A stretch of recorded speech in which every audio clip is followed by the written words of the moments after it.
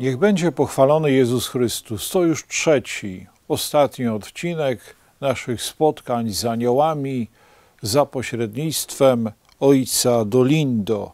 Ksiądz Dolindo i niebiańskie duchy to książka wydawnictwa Esprit, którą staram się szczegółowo omówić.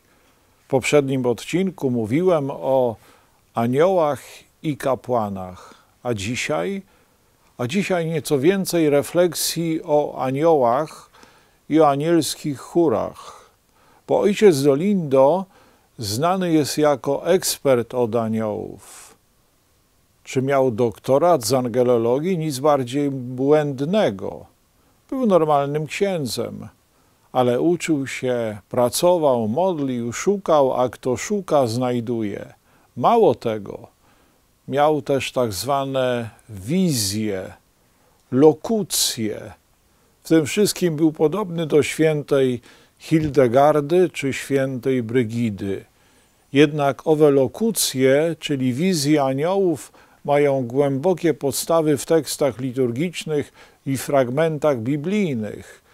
Dlatego są bardzo kanoniczne i nie odbiegają od prawdy dogmatycznej, która została objawiona przez Kościół. Aniołowie tworzą pewnego rodzaju wspólnoty. Nie ma wśród nich męża, żony, teściowej, zięcia, szwagra, babci, dziadka. Są armią Pana Boga, a jako armia, jako żołnierze dzielą się nie na brygady, plutony, dywizje, dzielą się na zastępy, legiony i chóry jest dziewięć chórów anielskich. I o tych chórach dość szczegółowo pisze ojciec Dolindo. Każdy z nich ma pełną, pewną rolę do spełnienia. Jeden chór nie zastąpi drugiego. Najbliższe nam są trzy chóry: archaniołowie, księstwa i aniołowie. To z chóru aniołów wywodzi się nasz anioł stróż najbliżej Pana Boga w takiej triadzie w postaci koła albo okręgu znajdujemy chór serafinów, cherubinów i tronów, a pozostałe trzy chóry są po środku. Przekazują światło, mądrość, wiedzę od tych trzech najwyższych chórów do trzech, które są najbliżej człowieka. Wśród archaniołów albo aniołów wyróżniamy siedem wyjątkowych duchów. Święty Rafał mówi, że jest jednym z siedmiu duchów stojących przed Bogiem.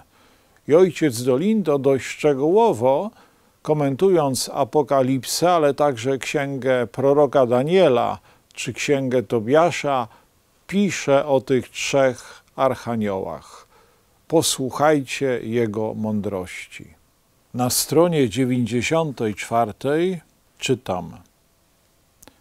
Kościół głosi bowiem prawdę o Bogu Trójjedynym, a oto Michał walczy razem z Nim, któż jak Bóg.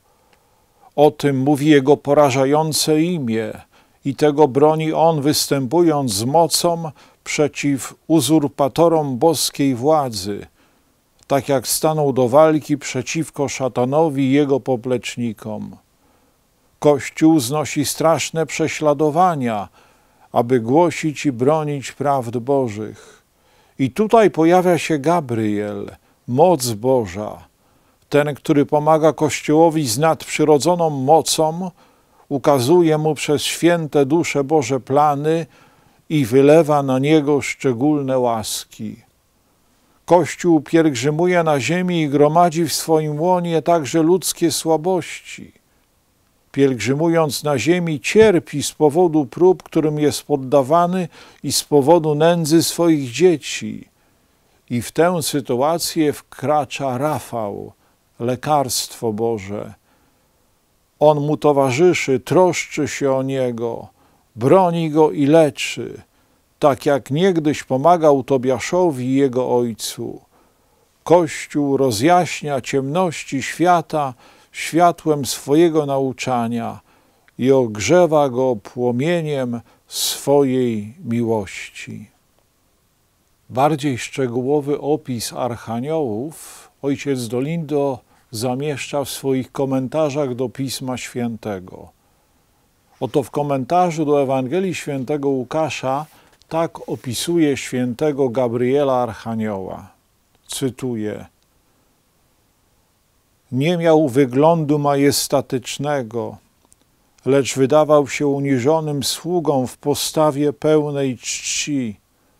Promieniował najjaśniejszym światłem, ponieważ przynosił największą nowinę, jaką kiedykolwiek dostarczono na ziemię. Jego wielkość ukryta była pod zasłoną pokory. Przystanął na chwilę, skłonił się i podziwiając arcydzieło Boże zawołał Pozdrawiam Cię o pełna łaski. Pan jest z Tobą, błogosławionaś Ty między niewiastami. I zatrzymał się, adorując Boga, który uczynił ją tak piękną, gdyż widział w niej najjaśniejsze odblaski nieskończonej światłości. Nieco inaczej ojciec Dolindo opisuje świętego Michała Archanioła. Czyni to w komentarzu do Apokalipsy, a konkretnie do fragmentu z siódmego rozdziału, w którym czytamy: Inny anioł zawołał donośnym głosem: Nie wyrządzajcie szkody ziemi. Owym innym aniołem był święty Archanioł Michał. Oto co pisze nasz autor.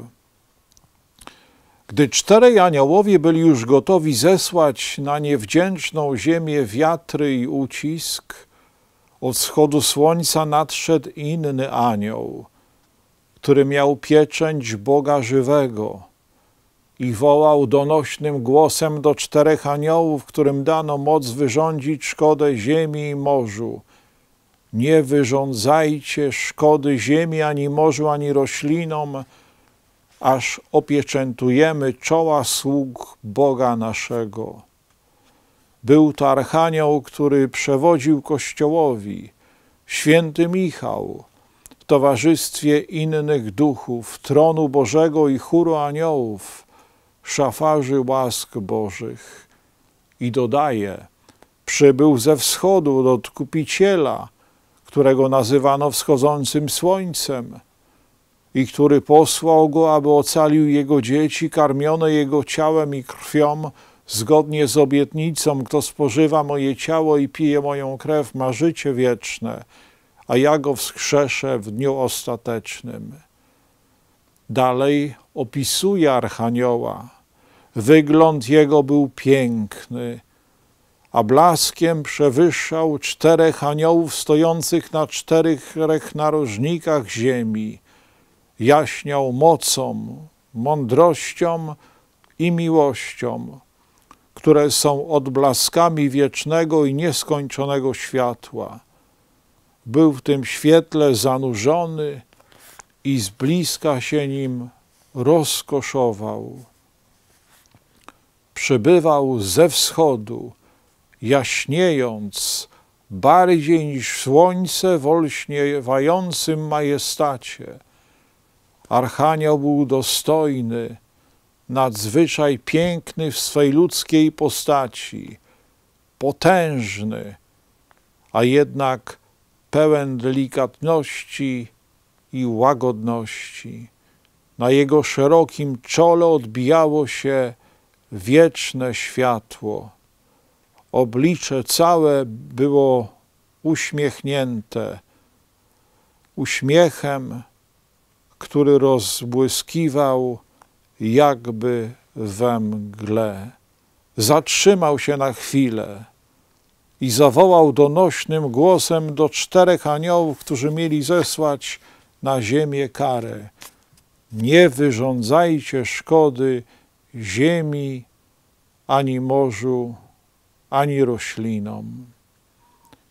To jeden z piękniejszych opisów świętego Michała Archanioła.